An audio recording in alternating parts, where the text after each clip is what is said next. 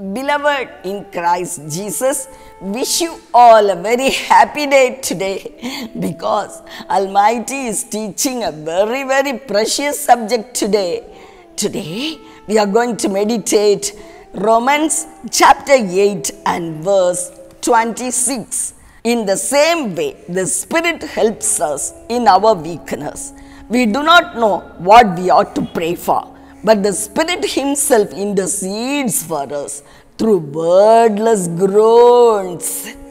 The Spirit of Jesus, the Spirit of our Father God, groans for us in front of the presence of Father.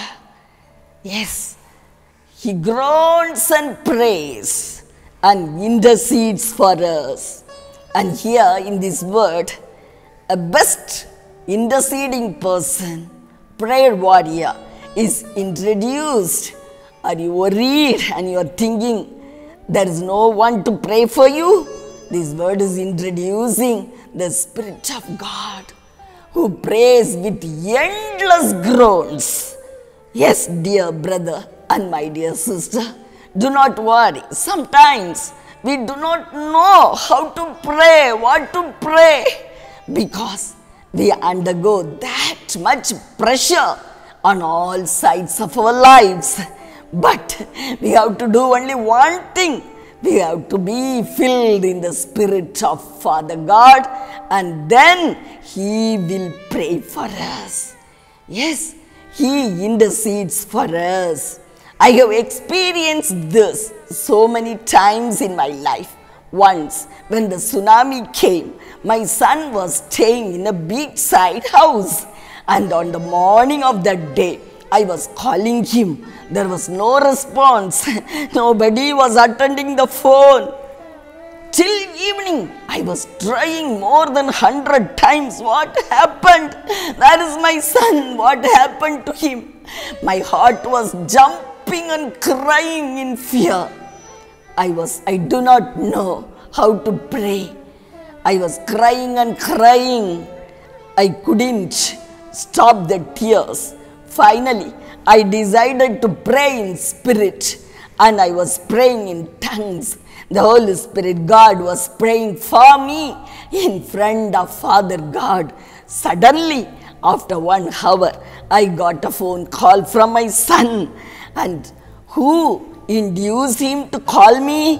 It's the Holy Spirit God who was interceding for me with endless groans in front of the Father God. He reminded that boy to call me. He called and my tears were wiped away. So many times we would not know how to pray, what to pray because of the all round pressures which is coming against us. But at that time, we have to be filled with the power of God and pray in tongues. My dear sister, my dear brother, God will give you that gift of praying in tongues. Ask for that, you will get it. Even I shall conduct a meeting for that, and you will receive it definitely. Let us all get prepared to pray in tongues and get very great results in our lives. Shall I pray for you? O loving Heavenly Father, Savior Jesus, and Holy Spirit Master. Right now, I come into your holiest presence, Papa. You are so wonderful. You have provided the Spirit of Father God. Yes, in our lives. And so, He prays and intercedes for us with endless groans.